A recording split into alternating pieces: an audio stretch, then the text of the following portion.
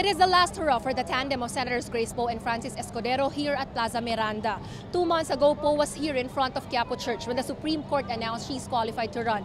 Now, two days before the elections, the former survey frontrunner makes her last pitch to Filipino voters. Just like her story as a foundling, Poe's presidential bid starts and ends in front of a Catholic church. Poe's family and friends are in full force for the senator, joined by celebrities endorsing her. Poe vows she will not back out from the race, even as President Aquino wants a united front against frontrunner Rodrigo Duterte. Camille Elemia, Rappler, Manila.